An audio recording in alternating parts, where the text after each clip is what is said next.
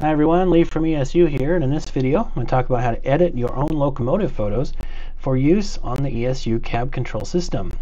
In order to use your own locomotive photos, you do need to have the cab control integrated control unit base and a mobile control 2 throttle. And what you'll want to do is take a photo of your locomotive or go to the manufacturer's website and download the image to your computer, save it here in a uh, images folder like I have done. I've downloaded several from Scale Trains and a couple from Intermountain.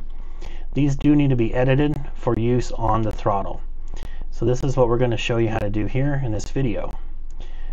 So we're going to work with this UP-9 photo here and I'm going to right click we're going to open it with GIMP.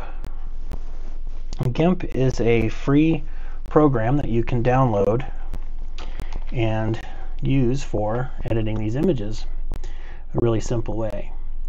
So we have our image open. One of the things you'll want to do is first change your active foreground color and your active background color to be the same. And for purposes of what we're going to do here, the color is HTML notation B6, B6, B6. If you would rather have the background color of the mobile control 2 throttle. The background is 323232. I do find that it puts a white border around the image and it doesn't look quite as good as just using the ECOS color B6, B6, B6. So once you've got that set, then you're good to go. And what we need to do is first crop the image using the crop tool. And all you have to do here is get relatively close to the image. If your image isn't straight, you can always straighten it first and then you can crop it. And I didn't do very good, so we're going to actually go just a little bit closer. Just move this a little bit so that we can get a little bit closer.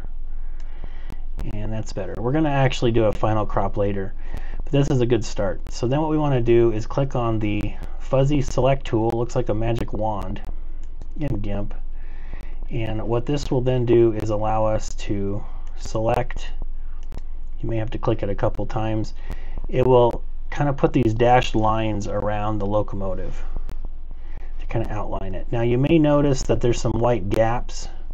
If you see that and you want to get rid of those, you can hit the shift key and you'll see a little plus appear next to the crosshairs. That will allow you to add more white areas if you want to get rid of all of the white areas. So you could come in here and get super detailed if you'd like and, and get rid of all of these little areas. It's not totally necessary though. And if you do find that you've done too many and you don't really want to do that many, you can always back it off by hitting the control key or holding control and you'll see a little minus appear and then you can click on those areas and remove them if you so choose. I'm going to leave mine in on this image. So that's really all you have to do there. And then if your colors are set correctly from the beginning, all you have to do is hit the delete key and the background now will change to these gray colors, which is our background. And it looks pretty good. So then what we want to do is go to image and we want to go crop to content and that will bring it as tight as it can to the locomotive. And we're going to go to image and we're going to go to scale image. You'll want to make sure that the little chain link here is linked just like you see here. And we're going to change the height to 40 click in the width. Make sure the width shows less than 190 as long as it's less than 190 you're good to go. Otherwise you'll have to make it 190 but generally if you put in a height of 40 on most images it will come out perfect. And then we'll just hit scale and it's going to make the image super small and that's okay. If you hold down control and scroll the mouse wheel away from you you'll bring it back. Now it's also really fuzzy and that's okay as well. We're going to do another step here. We're going to go to image canvas size. Because for the mobile control 2 throttle the image has to be exactly 190 by 40 so I'm just going to tap this up until I get to 190 Make sure also that this chain link is not linked so that they are not proportional 190 and 40 stay together just like that. And then you have center click center. The image will move just a touch and we'll have it in the center. If we hit resize you'll now see some boxes appear on each end of the image. That's again okay. Uh, depending on your image you may see more or less boxes than I see here we're going to go to image again and we're going to say flatten image and that's going to make those boxes match the background color. I also should note that the image is pointing to the right. Uh, this is very important for the Mobile Control 2. Um, for, for our locomotive control, forward is to the right. And so if your image faces to the right, the right arrow will point towards the head end of the locomotive and the left arrow will point toward the rear end. And this just makes it easier to glance down and know which way your locomotive is going as you're operating it.